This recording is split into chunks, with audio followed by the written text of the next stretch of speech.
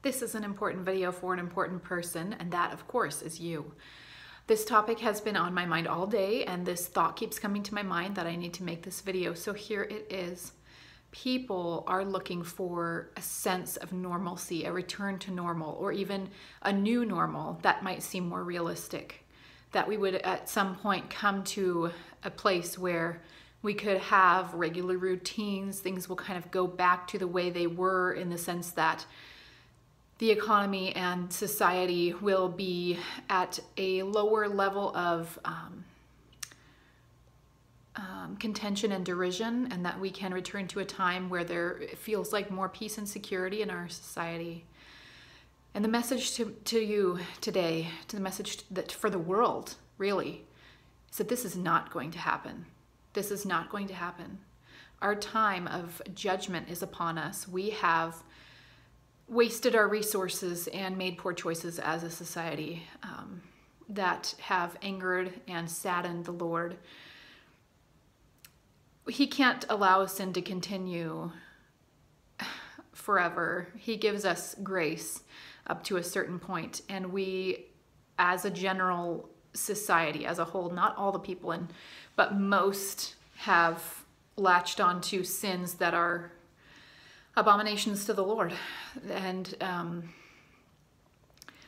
and the society won't be able to continue this way. We are already in the, um, we've already passed the point where we could have, as a general group, um, repented and come to the Lord and turned the whole thing around.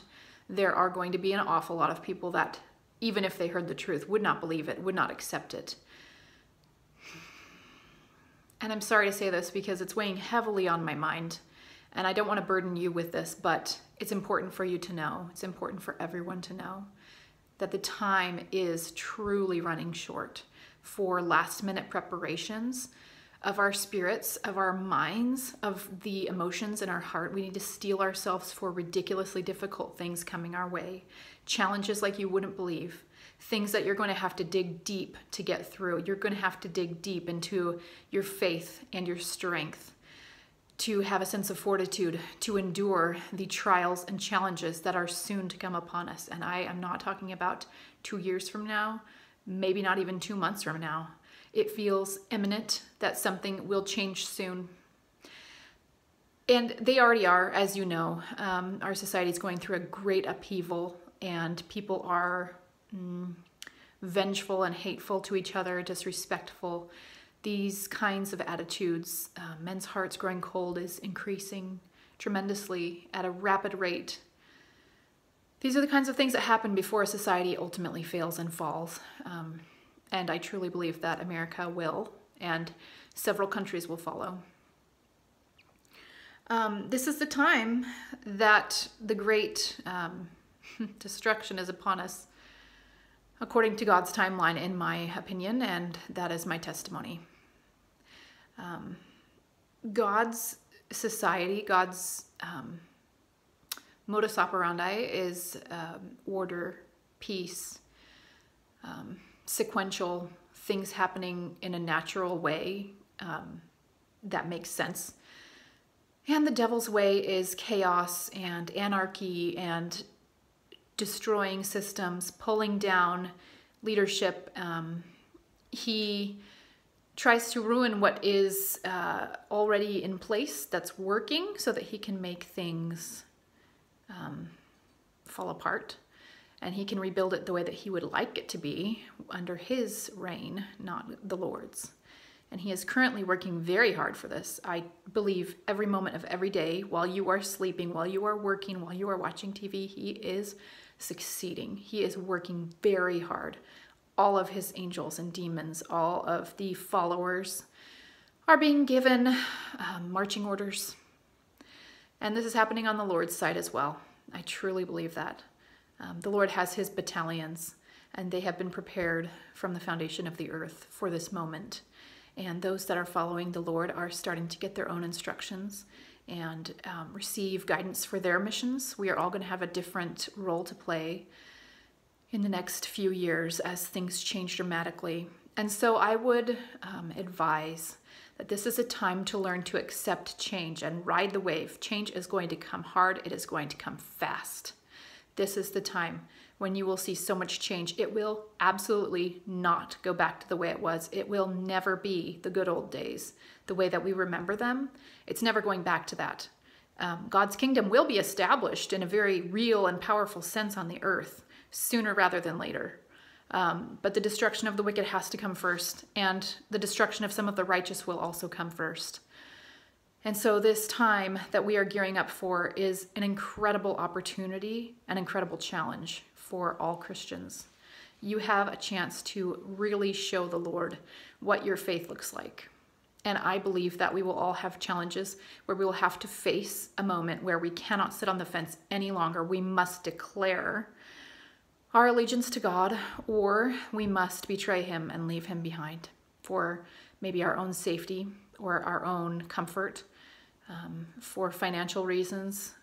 I don't know what your um, specific challenge will be, but it's time to be strong. It's time to be strong and embrace change, and also to keep a firm foundation on the gospel, on the words of the Lord even though a lot of changes are happening, the one thing that absolutely cannot change is vital that this does not change is your testimony and your faith. I hope you have a quiet assurance and a strong, calm, um, deep base of testimony in the Lord that just runs deep like the roots of a tree that will be necessary as the winds kick up and we have to withstand the storm of a lifetime if you are not prepared, if this mes- message feels um, alarming, you may not be prepared for what's coming. And I know that I am feeling that alarm um, rising in me because, in some ways, I don't feel like I'm quite prepared for um, whatever might come. I know that we still need to make some physical preparations uh, in my family that we would like to um, take care of. But uh, spiritually, I'm in. I think I'm. I'm in a, a good a good place, but I pray for you that you can reach a place where you feel peace and ready to um, take on whatever comes your way. Something's coming, and um, it's going to be a great and terrible day, as the scriptures say, great and terrible. And I'll sign off and and just want to leave you with that warning and a word of love and hope. There is hope even if you end up having to um, submit your will or your life for the cause of the Lord, because you will not, um,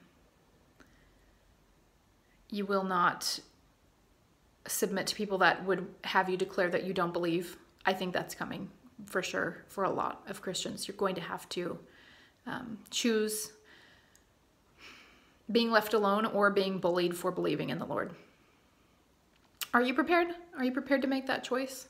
Are you confident that you would know what you would say in that moment when you are being pressed for an answer? That is my question for you today. I know that hope is real even in these dark days, that the Lord will watch over his servants and those who love him. He loves his friends. And I can't even believe that he might consider us friends after all of the wrong that we've done and he's he's covered our sins, but he generously considers his um, beloved servants, his friends in the end. What a beautiful message. What a beautiful thought. He is a beautiful spirit. I am so excited to meet Jesus, and I don't think it's that long now, but I do think we're in for a couple of hard years, and they're coming up very soon. I love you, brothers and sisters. I'll talk to you soon.